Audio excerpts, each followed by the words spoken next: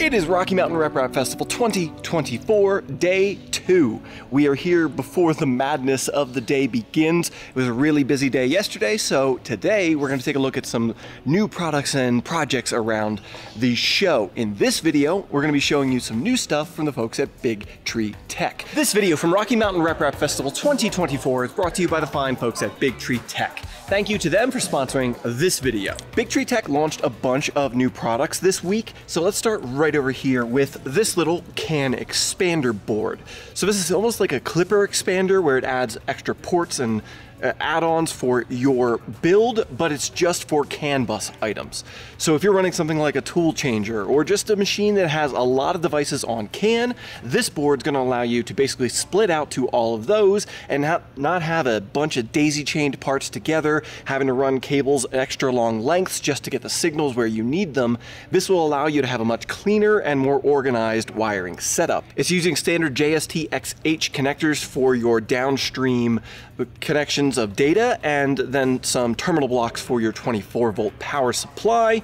But on the input side, on connecting to your Raspberry Pi, your uh, CB2, you've got a couple of options with an XT30 type connector, an RJ connector, or you can also use the JST connector as well for the input. This adds up to six additional CAN bus ports to your build. I think Stealth Changer is definitely going to be the star of the show when using this. To go right along with adding on to your CAN system, we have the new eddy sensor. This is an eddy current sensor that is a scanner for your bed surface. So when you're bed leveling, it can actually just quickly sweep along the surface of the bed and get a really rapid and very fine bed mesh. I mentioned it right after the CAN expander because it can be connected in multiple different ways, including via the CAN bus, allowing for a potential of a cleaner wiring setup for your project.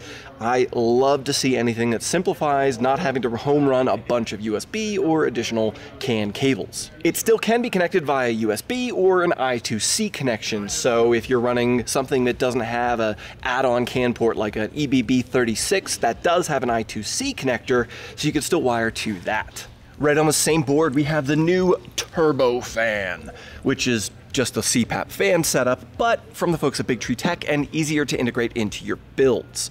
I'm going to be doing a Voron 2.4 using CPAP in the near future, and I like the idea of this. If you're not familiar, one of these little blower fans that moves a lot of air, as is installed on this Voron 2.4 right now, these traditionally come with a fan controller board, but it is only meant to dial in with a rheostat and like dial in exactly how much fan output you have, which is not ideal for our uses in 3D printing where we might want to adjust fan for overhangs versus your regular layer printing. So now they have an add-on board that comes with this turbo fan setup. It allows you to just connect it to your standard fan port connection on your main board of your machine, probably from Big Tree Tech, and that will allow you to control the fan directly from your interface, your firmware, and not have to have some additional hardware control. There are traditionally ways of doing this via the GPIO pins on your Raspberry Pi, but this is going to be so much simpler and easier to control from G-code, not have to create some custom macros just to adjust your fan speed. The last thing on this board that I want to talk about is the SKSM. This is just a safe shutdown module for your Klipper powered system. Something like just flipping the power switch off will kill power to your Raspberry Pi, your CB2, whatever control board you're running in your machine, and that can corrupt your operating system. They are intended to be properly shut down by sending a shutdown command. This will allow for a little bit of backup power to be contained in the capacitors on it and allow for a safer shutdown, not such an abrupt power loss that causes those corruption issues. BIQU is expanding the Panda line with the new Panda CHT. This is a standard RepRap style nozzle inside of a ceramic heater core on a heat sink that will fit into your Bambu machines, allowing for some higher flow rates out of that hot end. This is a new expansion off of their previous setup, the Panda Revo, which allowed for use of Revo nozzles in a Bambu machine. Now that was claiming about 40 millimeters cubed per second using one of the high flow nozzles from E3D. The new Panda Flow CHT comes with a Bondtech CHT nozzle for higher flow and is rated at 45 millimeters cubed per second, allowing you to bump up your flow rate on your machine and push speeds a little harder. I almost forgot, they also now have some of these nice little clicky switches to add on some macro buttons to the front of a Voron or any other machine you want to integrate these into. Press one of these and you can trigger a related macro command for heat up, cool down, whatever you might want to tie to these switches, allowing you to manually operate the machine, not have to jump into console to control how you want to set things up. They also launched this week something really interesting to me, the new CB2 and Pi 2. These allow for a lot more horsepower, processing power, and functionality built onto an SBC, a single board computer. One of the stars of the show here is a 24 volt terminal block on here. So you can send 24 volt input to this as most 3D printers currently are running and not have to worry about running some dedicated external 5 volt power supply just for your single board computer. It has two gigabytes of RAM now for a little more processing power, a CSI port for camera input, and a DSI port for display output as well as touchscreen input.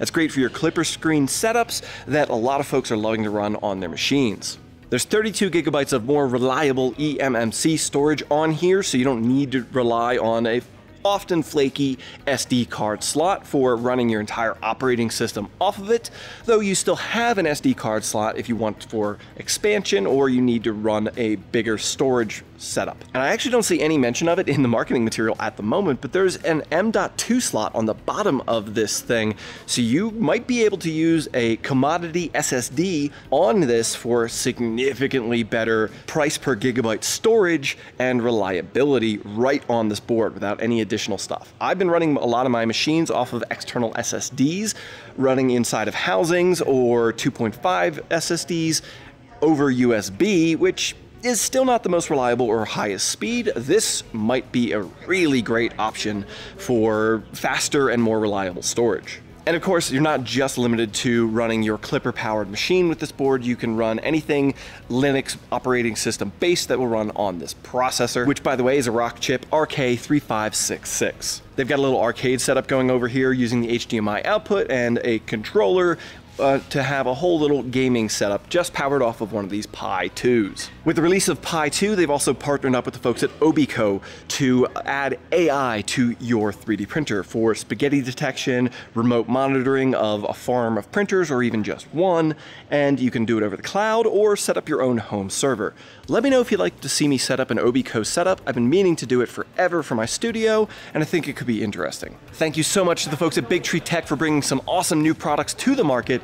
Uh, they are always expanding what we can do with our 3D printers via technology. So thank you to them, and thank you once again to them for sponsoring my trip to Rocky Mountain RepRap Festival 2024. If it wasn't for them, I wouldn't be here showing you folks not just their products, but everything I'm going to be showing you in other videos. Thanks again. See you, folks.